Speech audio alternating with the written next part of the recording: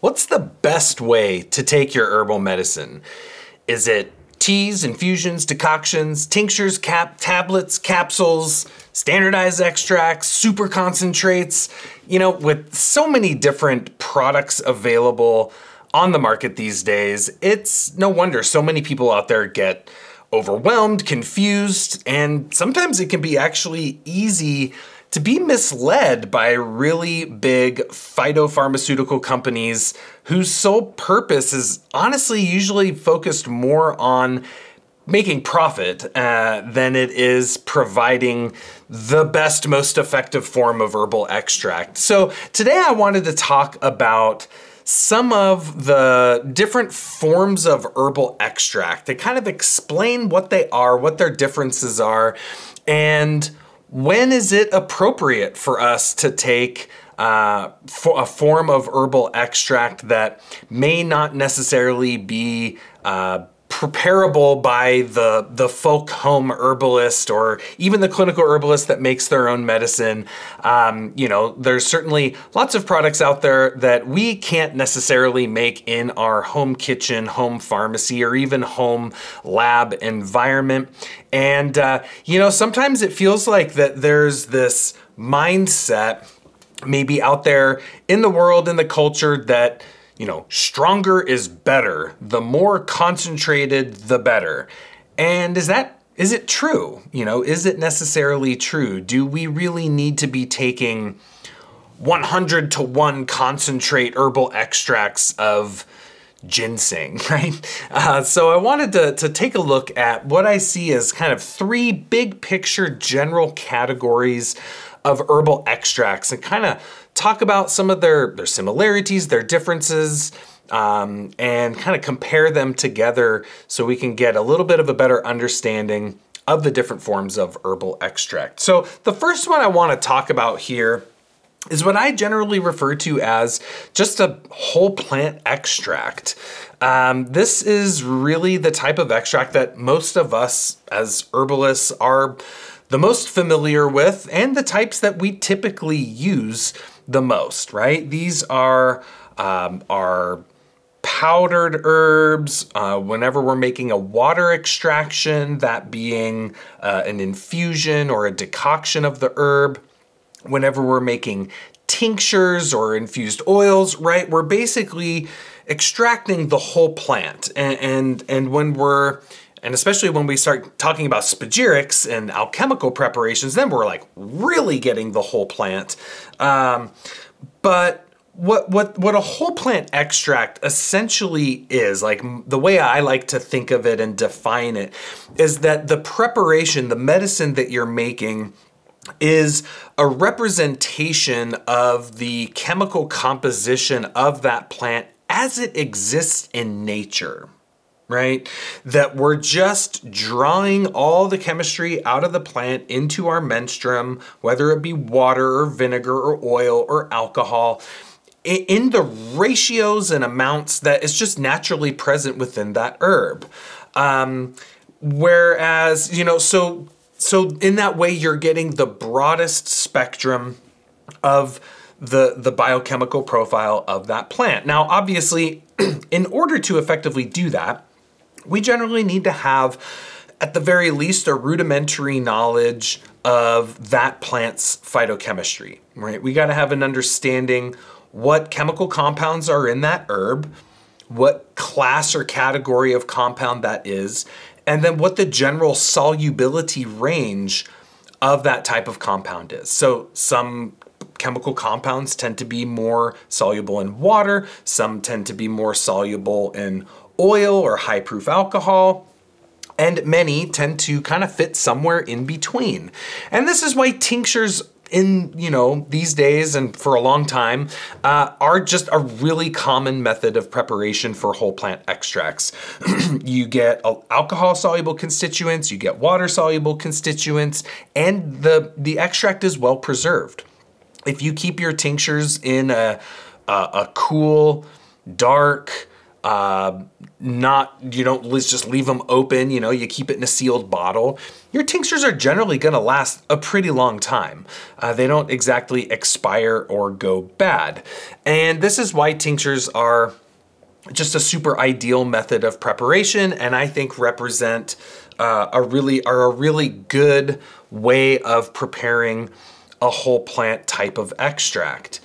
Do they work of course they work, right? Uh, whole plant extracts have literally, this is how people have used herbal medicine since the dawn of herbal medicine, and they work, right? Uh, people have been putting medicinal plants in water to make infusions and decoctions for a very long time for not quite as long, but still for a decent amount of time, people have been putting herbs in alcohol to extract and preserve their medicinal virtues.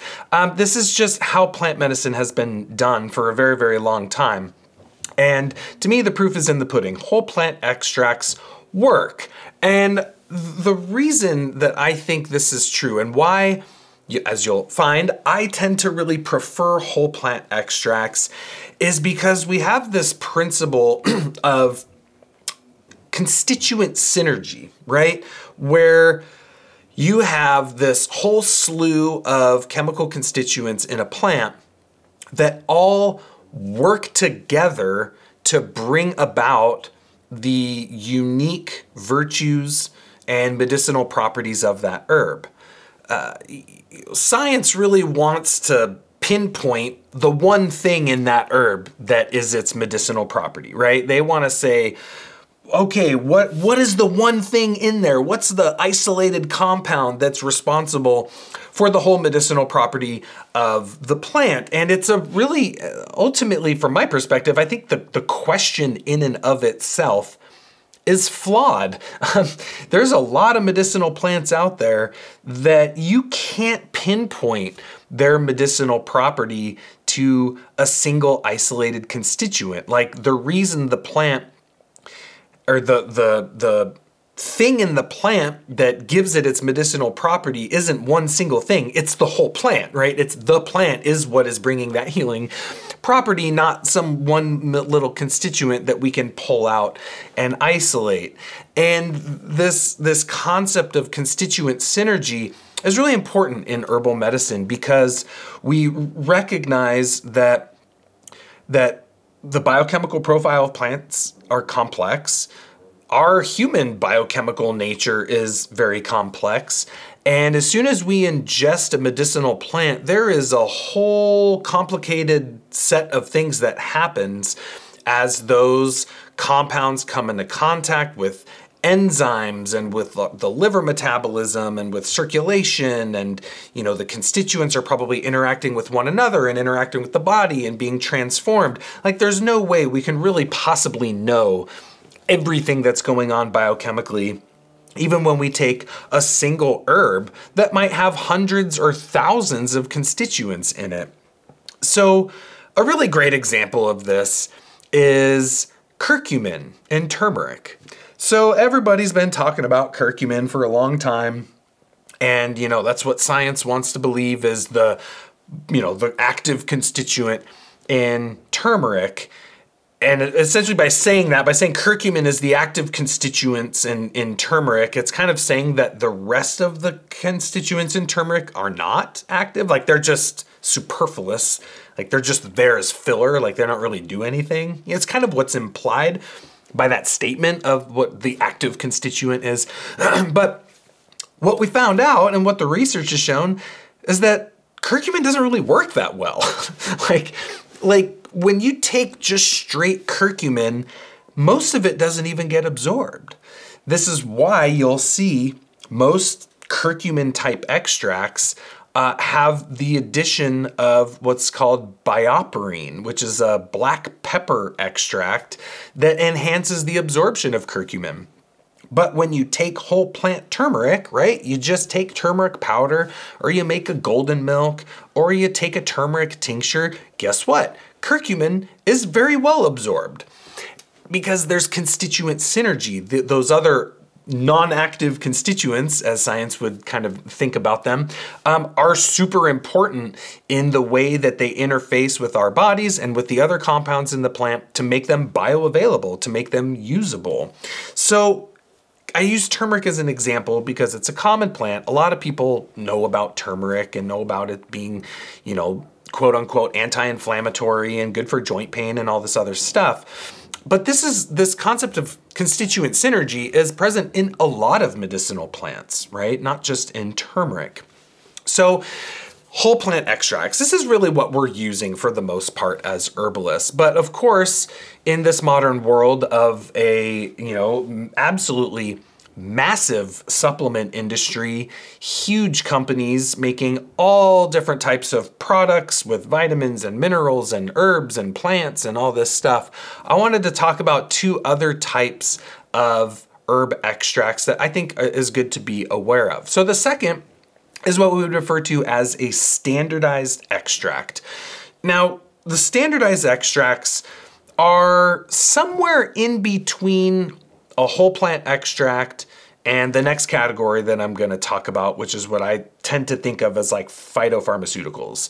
Um, we can think of them as a whole plant extract, but that has been standardized to uh, a certain percentage of those bioactive constituents. So um, this would be things like kava kava tinctures being standardized to a certain percent of kavalactones, ginkgo standardized to the ginkgolides, saw palmetto standardized to um, you know the the sterols that are present in saw palmetto.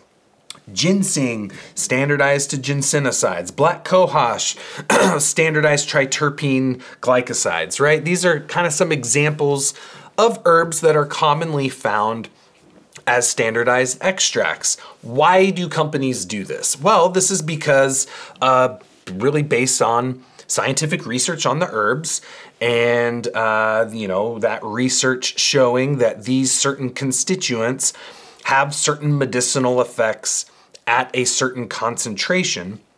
And so these herb companies are basically spiking their herb extracts with these standardized compounds in order to have a degree of consistency to them. And, you know, I, I, I don't really think that's necessarily a bad thing per se, right? Um, consistency in herbal extracts is really important, right? If you're buying a product from a company for a health concern, and you've got to buy it over time, you want to know that from one batch to the next that you're going to be getting, you know, uh, a similar constant, you know, the same concentration, the same quality of product. Um, so, so I think a lot of it has to do with consistency and reliability, and also basing it off of science. Now, obviously, does that mean that black cohosh that isn't standardized isn't going to be effective? Absolutely not.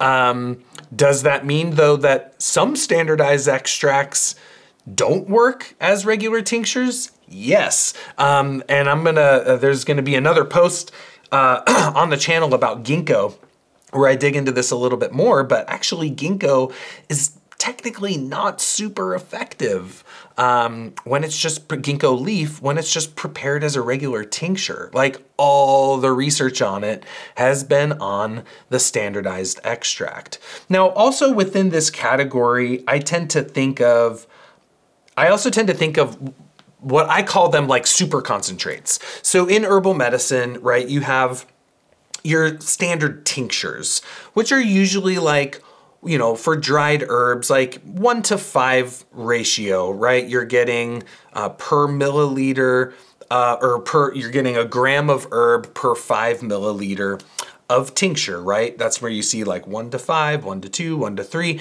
right? It's how many grams of herb per milliliter of extract that you're taking. Then we get up to what's called a fluid extract, um, which I don't know why has a different word, but a fluid extract is a one-to-one. So for every, you're getting one gram of herb per milliliter of tincture.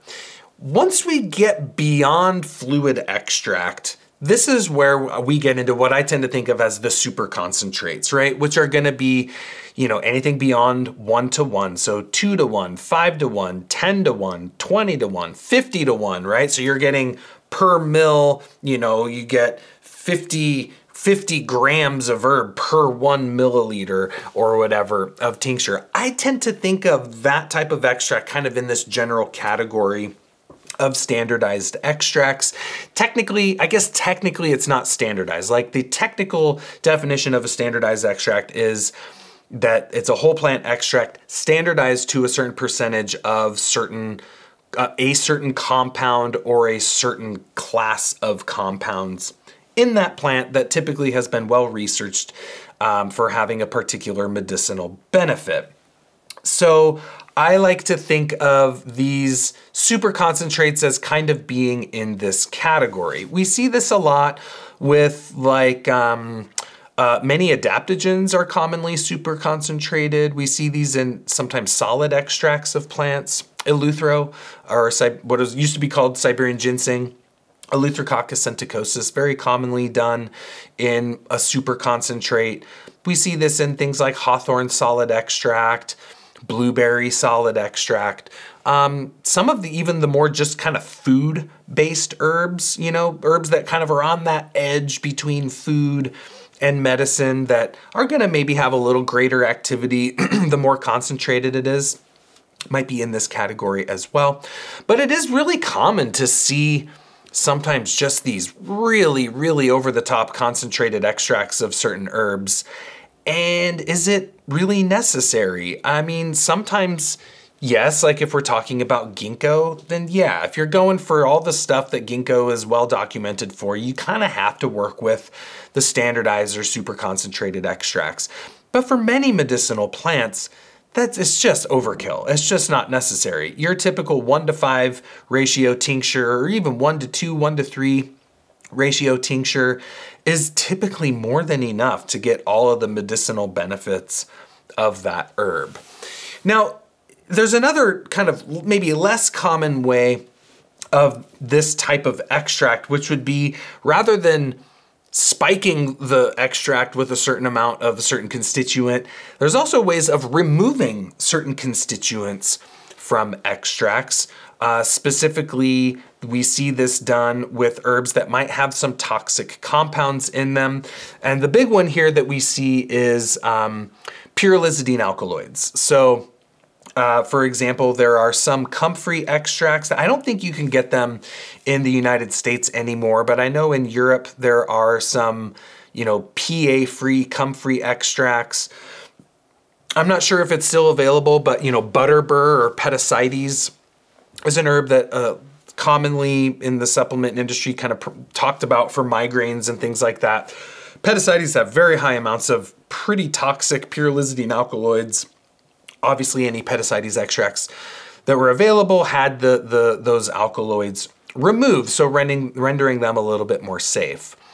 Another form of extract that we see with this is that what's called DGL, deglycerin, I can never say it, deglycerizinated licorice. Uh, glycyrrhizin is a constituent in licorice that uh, can um, raise blood pressure, basically. Uh, so oftentimes that DGL will be given to people that maybe have a greater risk for high blood pressure and maybe they want to work with licorice, but they don't want to put themselves at risk for that elevated blood pressure, so they work with that deglycyrrhizinated or DGL licorice.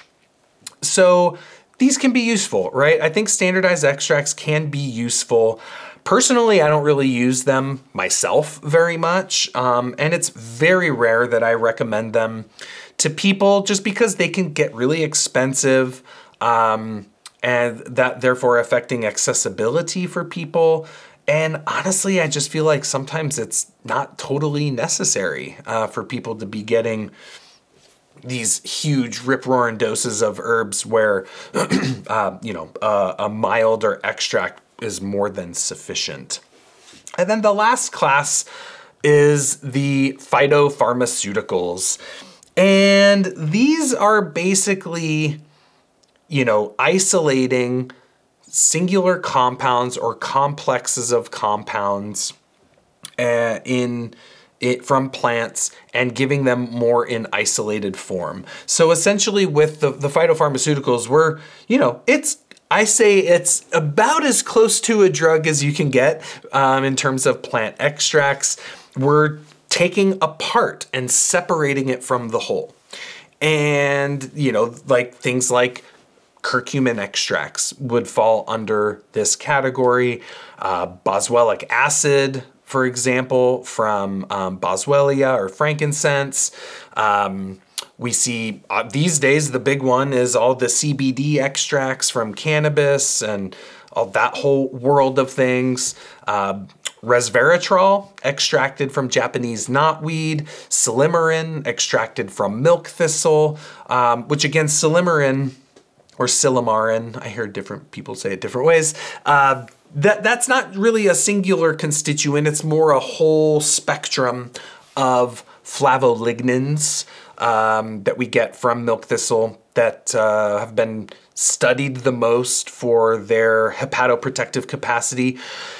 And that's where, you know, some of these phytopharmaceuticals are really profound. I mean, the flav the silymarin from milk thistle this is so powerful, it literally saves people's lives from eating things like death cap mushrooms, which kill you, right? I mean, you eat those mushrooms, you are going likely to die. and uh, modern medicine doesn't really have much of anything that can do for that, from my understanding. Whereas uh, silymarin, as an extract from milk thistle, can literally save lives. Typically, it's delivered as an injectable in an injectable form. So uh, I I don't know how much milk thistle tincture you'd have to take in order to um, get that level of dosage of silymarin to be effective. I'm not sure how possible that is. I haven't really done the math to think it through. But um, these are very, very powerful. These are, um, you know, I do think some of the phytopharmaceuticals may have applications. Um, but again, this is not something that I personally use very much. Most clinical herbalists I know don't really use them very much. I find where the kind of class of people that use herbs in the medical world do is would be more of like naturopaths. I find the naturopaths tend to be a lot more savvy in terms of the supplement industry, what types of products are available, using kind of uh, more concentrated extracts from big companies and things like that um, that will be used a little bit more. But does that necessarily mean they're better? Like if we have someone that needs some general liver support and some hepatoprotection, uh, is giving them silymarin necessarily going to be better than giving them a whole plant extract of milk thistle. Uh, if someone needs antioxidant protection and they need some resveratrol, um, is just taking straight resveratrol going to be any better than taking a Japanese knotweed extract?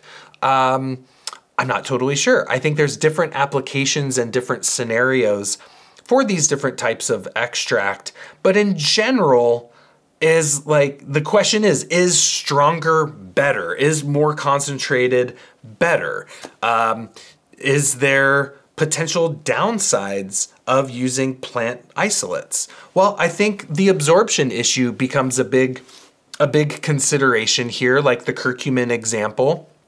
I think that there this concept of whole plant synergy is very important because like I said, it's very difficult for science to be able to 100% break down, dissect, and analyze everything that's going on within the human body when we take a whole plant extract. And when we separate apart from the whole, it functions differently. It's just things don't work the same when we take a part out of a whole. Uh, the whole system uh, doesn't work. I mean, we see this ecologically, right? You take a keystone species out of an environment and the whole ecosystem changes, right? To the point of sometimes it can cause ecosystem degradation. I mean, I don't want to say collapse, but the potential is there. Um, this is kind of the things that we run into when we start start using these plant isolates And I think there's question in regards to do they work better than the whole plant? Do they work worse than the whole plant? Is there any real benefit to it? Um, I think that that the the from my perspective, that the whole plant extract is, in my opinion, superior. I think that there may be places for certain standardized extracts like ginkgo, um, which is where all the research has been. Um, but maybe potentially for more very severe disease or where we need stronger interventions for people like they need something to work now. Um, that's maybe where these more standardized or phytopharmaceutical based extracts might be applicable. But I think for the most part, for general health maintenance, for disease prevention, for treatment of a lot of just the standard stuff that we tend to face as herbalists, I personally feel like sticking with the classic forms of herbal preparation is is a good way to go. And you know, I, am talking about this because I've, I've had some questions come up recently amongst students where there was doubt. They started experiencing doubt in their medicine because they're hearing about, oh, well, there's these other extracts of that plant that are so much stronger, and there's all this research on them. And oh, is, am I giving my clients mediocre medicine? Is it good enough? Is it going to work? And I think if you are really, if you're, especially if you're making your own medicine, if you're following, you know, the, the biochemical profile of the plant and the solubility of those constituents when you're preparing, say, your tinctures, if you are making your own capsules and you're using relatively freshly dried herbs that haven't, you know, you're not using a five year old powder that's just been sitting on a shelf in the sunlight and getting really hot, you know, your medicine is going to be effective. Um, I feel like the standardization of herbal medicine is this scientific science's way of trying to keep it consistent and trying to keep it reliable. But I think in that process, something is lost. I think when we separate apart from the whole, we lose that vital intelligence of the plant, the way that that plant grows in nature, the way that that plant was shaped by its ecosystem, the stressors that it experienced, all the plethora of secondary metabolites that that plant manufactured in response to that stress. Not to mention the vital spirit of that herb, the intelligence of that herb, the soul, the consciousness of that herb. I think when we separate apart from the whole, we start to separate those parts out as well. And I think our medicine starts to lose something. And it really is, in a way, an application of that pharmaceutical model that I think a lot of us are kind of trying to get away from, right? Of course, pharmaceuticals have their place. I think every kind of medicine has its place, but there's a mindset with these kind of more scientifically based extracts uh, where we are separating apart from the whole and we're not putting those parts back together, right? And that's something that is what makes alchemical preparation so interesting and profound is that they we separate them but we recombine them. Science just separates and separates and separates and divides divides divides and ad infinitum but there's no recombination there's no reassembly back into wholeness. And i think if we want to treat the whole person we have to use a whole medicine. We have to use a holistic extract and to me, uh, th- these more scientifically based forms of extracts of herbal medicines are it's like another way where we're trying to outsmart nature where we think we can do a better job than nature does. And i think that's where we kind of start to run into risks of creating other potential problems by tinkering with something that in my personal opinion is already perfect. It's already there's already a perfection there in the way that that plant was created or evolved, the way it grew, the way its shape is, the way its chemistry, its taste, its smell, everything about it It's good the way it is. And we just make a medicine that preserves that wholeness, that encapsulates the wholeness of that herb so that it can heal the wholeness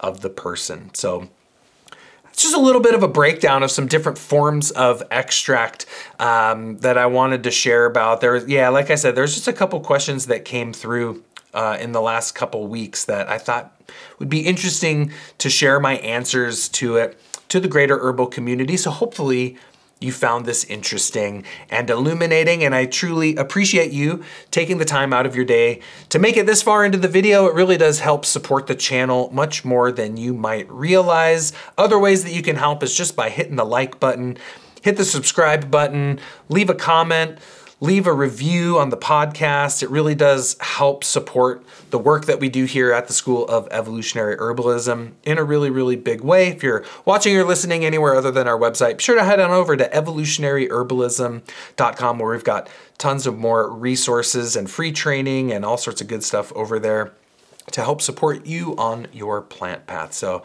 I'm Sajah Popham. Thanks so much for joining me in this video today. And until the next one, take care and be well.